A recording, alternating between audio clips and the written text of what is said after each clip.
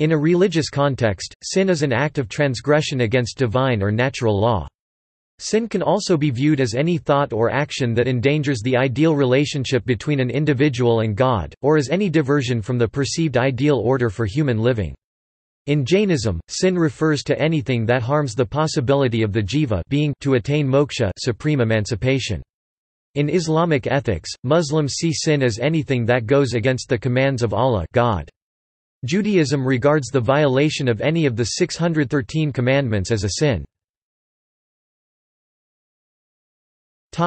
Etymology The word derives from Old English sin n, for original asterisk sunjo. The stem may be related to that of Latin sons, sunt is guilty. In Old English there are examples of the original general sense, offense, wrong-doing, misdeed. The English biblical terms translated as sin or sin from the biblical Greek and Jewish terms sometimes originate from words in the latter languages denoting the act or state of missing the mark. The original sense of New Testament Greek hamartia hamartia, sin, is failure, being in error, missing the mark, especially in spear throwing. Hebrew hata, sin, originates in archery and literally refers to missing the gold at the center of a target, but hitting the target, i.e. error. To sin has been defined from a Greek concordance as to miss the mark. Topic: Religions. Topic: Bahá'í. In the Bahá'í Faith, humans are considered naturally good, perfect, fundamentally spiritual beings. Human beings were created because of God's immeasurable love. However, the Bahá'í teachings compare the human heart to a mirror, which, if turned away from the light of the sun i.e. God, is incapable of receiving God's love. Buddhism Buddhism believes in the principle of karma, whereby suffering is the inevitable consequence of greed, anger, and delusion known as the three poisons. While there is no direct Buddhist equivalent of the Abrahamic concept of sin, wrongdoing is recognized in Buddhism. The concept of Buddhist ethics is consequentialist in nature and is not based upon duty towards any deity. Karma means action, and in Buddhist context, motivation is the most important aspect of an action. Whether karma done with mind, body and or speech is called good or bad, depends on whether it would bring pleasant or unpleasant results to the person who does the action. One needs to purify negative karma for satipathanas to free oneself from obstacles to liberation from the vicious circle of rebirth. The purification reduces suffering and in the end one reaches nirvana, the ultimate purification by realizing selflessness or emptiness. An enlightened being is free of all the suffering and karmas, and will not be automatically born again. Christianity In the Old Testament, some sins were punishable by death in different forms, while most sins are forgiven by burnt offerings. Christians consider the Old Covenant to be fulfilled by the Gospel.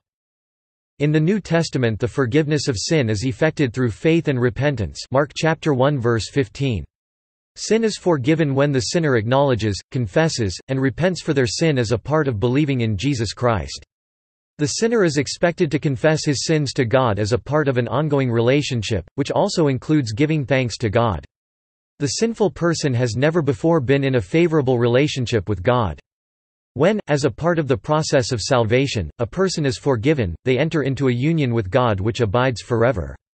In the Epistle to the Romans chapter 6 verse 23, it is mentioned that, "...the wages of sin is death." which is commonly interpreted as, if one repents for his sins, such person will inherit salvation. In Jewish Christianity, sin is believed to alienate the sinner from God even though he has extreme love for mankind. It has damaged and completely severed the relationship of humanity to God. That relationship can only be restored through acceptance of Jesus Christ and his death on the cross as a satisfactory sacrifice for the sins of humanity. Humanity was destined for life with God when Adam disobeyed God. The Bible in John chapter 3 verse 16 says, "For God so loved the world, as to give his only begotten Son, that whosoever believeth in him, may not perish, but may have life everlasting." In Eastern Christianity, sin is viewed in terms of its effects on relationships, both among people and likewise between people and God. Also as in Jewish Christianity, sin is likewise seen as the refusal to follow God's plan and the desire to be like God, as stated in Genesis chapter 3 verse 5 and thus in direct opposition to God's will see the account of Adam and Eve in Genesis. Original sin is a Western concept that states that sin entered the human world through Adam and Eve's sin in the Garden of Eden and that human beings have since lived with the consequences of this first sin. The serpent who beguiled Eve to eat of the fruit was punished by having it and its kind being made to crawl on the ground and God set an enmity between them and Eve's descendants. Genesis chapter 3 verses 14 to 15. Eve was punished by the pains of childbirth and the sorrow of bringing about life that would eventually age, sicken and die Genesis chapter 3 verse 16. The second part of the curse about being subordinate to Adam originates from her creation from one of Adam's ribs to be his helper Genesis chapter 2 verses 18 to 25. The curse now clarifies that she must now obey her husband and desire only him. Adam was punished by having to work endlessly to feed himself and his family. The land would bring forth both thistles and thorns to be cleared and herbs and grain to be planted, nurtured, and harvested. The second part of the curse about his mortality is from his origin as red clay, he is from the land and he and his descendants would return to it when buried after death. When Adam's son Cain slew his brother Abel, he introduced murder into the world Genesis chapter 4 verses 8 to 10. For his punishment, God banished him as a fugitive, but first marked him with a sign that would protect him and his descendants from harm Genesis chapter 4 verses 11 to 16. One concept of sin deals with things that exist on earth, but not in heaven. Food, for example, while a necessary good for the health of the temporal body, is not of eternal transcendental living and therefore its excessive savoring is considered a sin. The unforgivable sin or eternal sin is a sin that can never be forgiven, Matthew chapter 12 verses 30 to 32. 30 He that is not with me, is against me, and he that gathereth not with me, scattereth. 31 And therefore I say to you, every sin and blasphemy shall be forgiven men, but the blasphemy of the Spirit shall not be forgiven. 32 And whosoever shall speak a word against the Son of Man, it shall be forgiven him, but he that shall speak against the Holy Ghost, it shall not be forgiven him, neither in this world, nor in the world to come." In Catholic Christianity sins are classified into grave sins called mortal sins and less serious sins called venial sin. Mortal sins cause one to lose salvation unless the sinner repents, and venial sins require some sort of penance either on earth or in purgatory. Jesus was said to have paid for the complete mass of sins past, present, and to come in future. Even inevitable sin is said to have already been cleansed. The Lamb of God was and is God himself and is therefore sinless.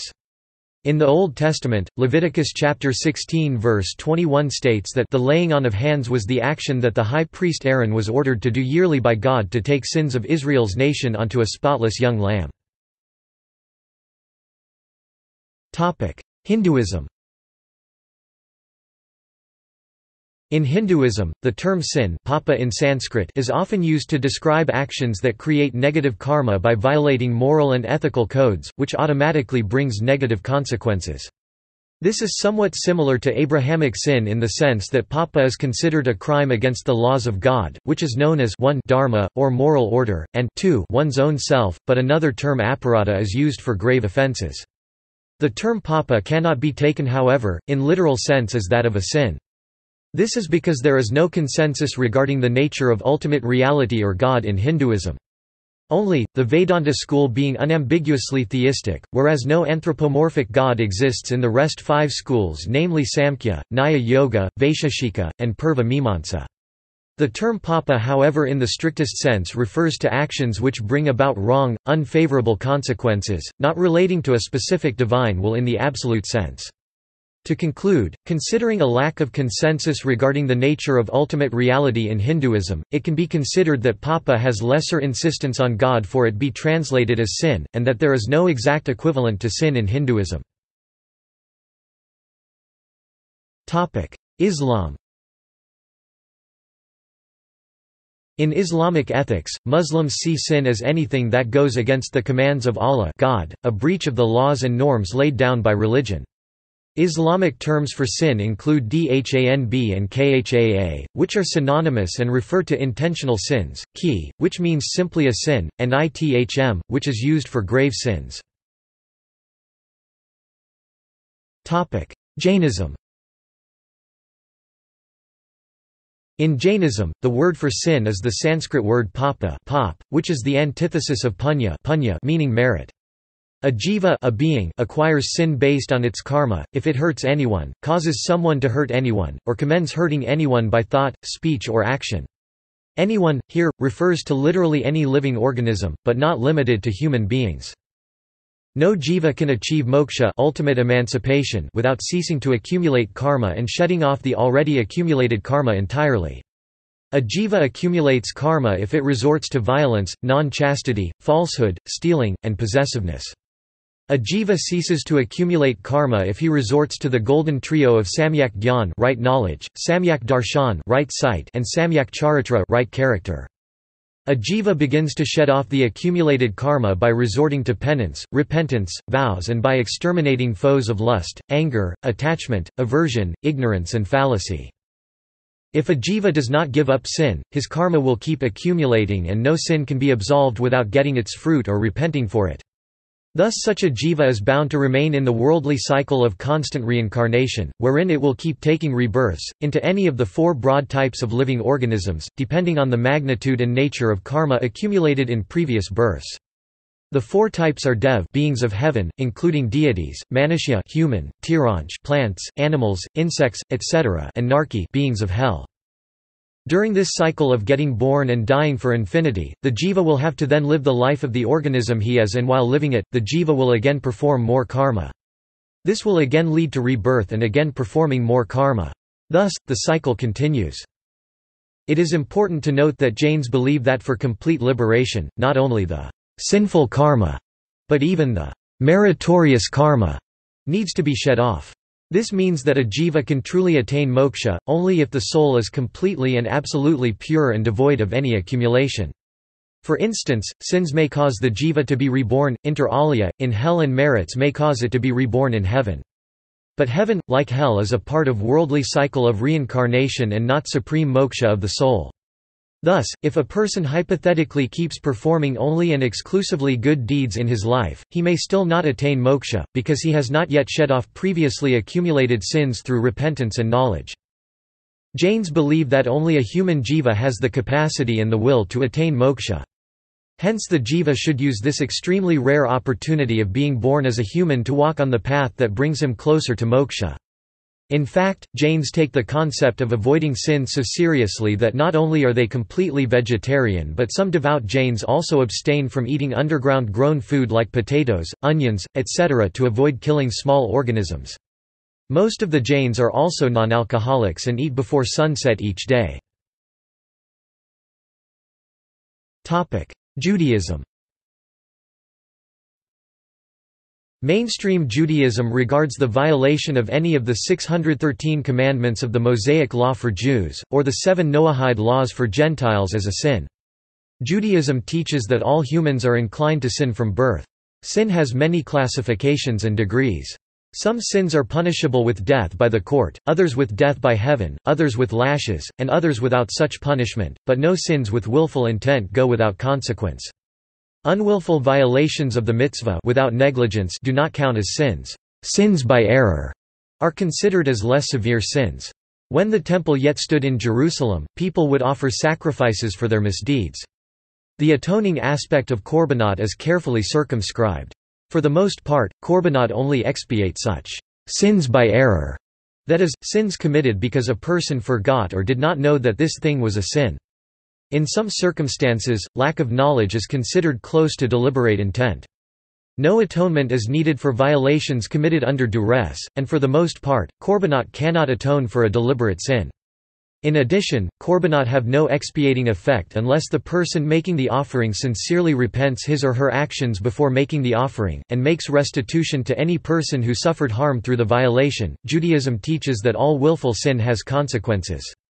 The completely righteous suffer for their sins by humiliation, poverty, and suffering that God sends them in this world and receive their reward in the world to come. The in-between not completely righteous or completely wicked, suffer for and repent their sins after death and thereafter join the righteous. The very evil do not repent even at the gates of hell.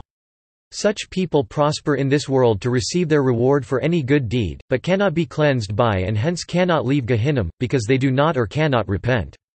This world can therefore seem unjust where the righteous suffer, while the wicked prosper. Many great thinkers have contemplated this. Mesopotamian tradition In Mesopotamian mythology, Adamu or Adamu, Admu, or Adapa goes on trial for the sin of casting down a divinity. His crime is breaking the wings of the south wind. Shinto Evil deeds fall into two categories in Shinto, amatsu tsumi, the most pernicious crimes of all, and kunitsu tsumi, more commonly called misdemeanors. Topic. See also Topic. Notes and references Bibliography Fredriksen, Paula. Sin, The Early History of an Idea. Princeton, Princeton University Press, 2012. ISBN 978-0-691-12890-0. Granoff, P. E., Shinohara, Koichi, eds. 2012, Sins and Sinners, Perspectives from Asian Religions. Brill. ISBN 9004229469. Hein, David. Regrets Only, A Theology of Remorse. The Anglican 33, No. 4 October 2004, 5–6. Lewis, C.S. Miserable Offenders. An interpretation of sinfulness and prayer book language about it, in series, The Advent Papers. Cincinnati, Ohio, Forward Movement Publications, 196. Pieper, Joseph. The Concept of Sin. Edward T. Oakes S.J. Translation from German. South Bend, Indiana, St. Augustine's Press, 2001. ISBN 1-890318-08-6 Schumacher, Meinolf. Sündenschmutz und Herzensreinheit, Studien zur Metaphorik der Sünde in lateinischer und deutscher Literatur des Mittelalters. Munich, Fink, 1996. ISBN 3-7705-3127-2 External links The different kinds of sins Catholic. Sin. Encyclopædia Britannica 11th ed., 1911.